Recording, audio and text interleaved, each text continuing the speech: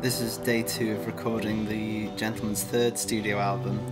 I'm Nicholas, I am the singer, and so the early days of recording is just nothing for me to do except encourage the guys and give my opinions on little bits. So I get to do a lot of uh, documenting of the stuff.